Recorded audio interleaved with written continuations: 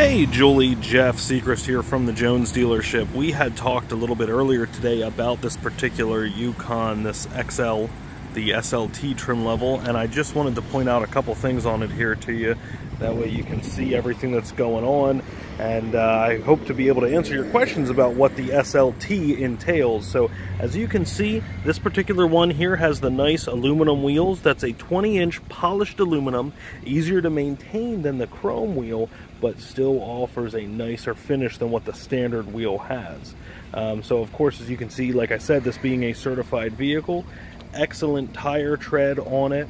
Um, because this is the SLT, that and the Denali's all come with the running board built right in. You'll also notice these little buttons on the doors, both on the rear door and on the front door as well. That's because this has the easy key passive entry system. So one push of the button uh, on the door, as long as the key fob is in your pocket or person and you can get in, if the key's in your, like my wife keeps her keys in her purse, you don't have to fish them out or dig them out. As long as you walk up to the car, push that button, it'll unlock, you can hop in, and then you can push the button inside to start the vehicle up. So as long as the key fob is with you, you are good to go. Now you will notice, this being the SLT, it has the chrome accenting on the grill, It has the fog lights, which are standard on the SLT, and then it also has the HID headlights. Now you'll notice, um, at least when you go to put the car in gear, right around here is where the LED daytime running lights are.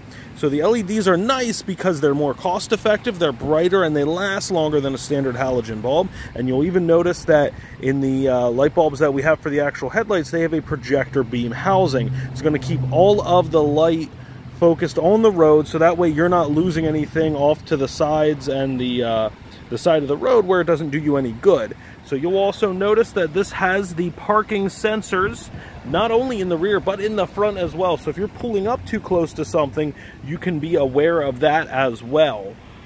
So let me start by showing you the back here um, because it's important to note how much size and how much space you're getting in the Yukon XL. So power lift gate, touch of a button, it opens right up. You can do that from the key fob, a button inside the vehicle, or back at the lift gate itself. Now once we're looking at the back here, you can see a lot of nice room in the rear with the third row of seats still up, and there you can even see it's got the DVD player, like I mentioned. Uh, but you also have power controls for the seat here. So at the push of a button, we can actually fold those seats down. And then at the push of a button, fold those same seats back up. So everything is easy to operate and right at your fingertips. The other set of buttons here actually does the second row seats as well. And when we come around, you'll see that one of them is already tipped down. That way you can maximize your storage space on the inside of it. So as you can see, one seat up, one seat down, and then bringing it back into the upright position is just a very simple hand operation. Um, like I mentioned, because of this having the rear seat entertainment, you have all the controls on the back here. For the radio, you have not only your nice 12 volt outlet, uh, but you're also going to have the three-prong home style outlet and there is an adapter there for hooking up any other type of interface into the screen itself. You'll also notice this has the climate controls at the back. Um, it is a tri-zone climate control vehicle. Driver has their own climate control settings, passenger has their own climate control settings, and then the rear seat, second and third row passengers have their own climate control settings. You can see there's actually vents up top as well as down below underneath the rear seats. So it allows you to have comfort for not only the driver but the passengers as well. And one thing I always like to point out that's pretty neat, the second row actually has heated seats. So, and not just one setting. As you can see by those lights, that is high, then medium, then low, then off. And that's for both of the second row seats here. Comes in really, really handy. Now, as I mentioned on our phone call earlier, the front seats are heated as well, but they are also air cooled. So if you know, it's got the perforated leather seats. And when we hop on in here, you'll see that it not only has the heated seat control, And in this, for the front seat, it's a little bit more advanced than the second row seat. You can heat the back or the back and the bottom. Same three levels of intensity. And then you also have the air-cooled seats as well with three levels of intensity. You have that for the driver as well as for the passenger. So, and then you have your climate controls, and you can even override the rear climate controls if you have small children back there and want to control the temperature for them. So, of course, with this being the Yukon, nice big center console, and really neat to point out, this top part of the lid here does wireless charging for cell phones. So it's completely built right in. Nice big storage space, down there. As you can see, it's very clean vehicle, very well kept after. Like I mentioned, this was, I personally sold this vehicle brand new to the family that leased it. Very, very nice family. This is probably the third or fourth vehicle that they bought from us here at the dealership. They always come here for service. They always maintain their vehicles really well. It's just the lease was up, so as many do at the end of the lease, and turn the keys in and on to the next vehicle. Now, we talked a little bit earlier about some of the sturdiness and some of the fortification this vehicle has, and I did mention that it does have the four-wheel drive. Like I said, right there is the controls for it. Unlike a all-wheel drive SUV, you are in control and can set it up for two-wheel drive or four-wheel drive, or you can actually set it in the auto setting, so that way the system can make it behave a little bit more like an all-wheel drive would. So, and then the steering wheel itself, if I can back up here enough for you to see, is power not just for um, the tilt, but also for telescopic as well. So I can move the, the steering wheel up or down and then in or out. That way you can really dial it in exactly how you like. It's also key to point out that the memory seats not only remember where you like your seats and outside mirrors, but it remembers where you like your steering wheel as well, which is really handy. So, nice big display. Like I said, uh, or what we talked about earlier, only has 36,000 miles on it. Still get that great GM certification of the warranty. Um, a lot of great features. As you can see, the navigation system is on and does work on this vehicle here.